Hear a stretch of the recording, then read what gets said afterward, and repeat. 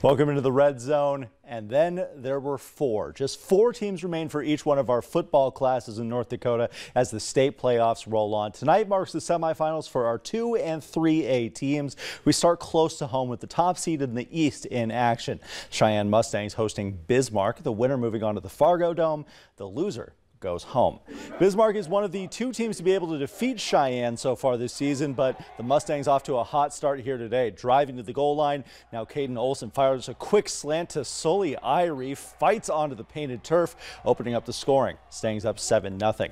Into the second quarter now, the Demons in the red zone. Grady Swanson fires it to the front pylon. Weston Scott hauls it in to tie us up, but Sheyenne goes on a long drive from there. Now facing third and goal, outside handoff to Tate Herman, lowers the shoulder and dives into the end zone. Sheyenne reclaiming that lead, but they still have time for one more score. Stangs back on offense. Olson looking to the end zone just past the hands of the defender and into the arms of Cash Gilseth. Cash is money. The Mustangs are heading to the state title game for the fourth time since 2019. 35 to 16 win over the Demons.